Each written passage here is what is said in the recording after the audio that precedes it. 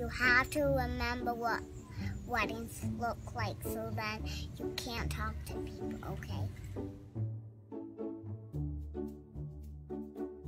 You didn't throw flowers and you was not at a wedding. So dad, you don't know what weddings look like. But now you're gonna know what weddings look like and you're gonna see us and then you have to remember what weddings look like so then you can't talk to people, okay?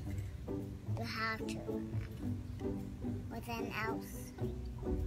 And Dad, you can't call my name when I'm gonna be walking down the aisle. No one can call us because we're gonna be busy walking down the aisle. No one can call our names. Like them can't call Jojo or Hope or Samuel. And What if I just yell, Princess? No, it's Dad. There's gonna be a bunch of people sitting, and then they're just gonna hear us. And they're gonna be like, "Why are you doing that? That was a.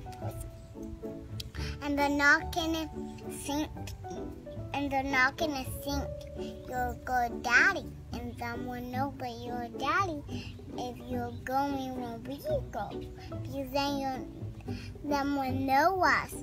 And Dad, you can't do that. You you do not understand what at all. Okay? You don't understand that.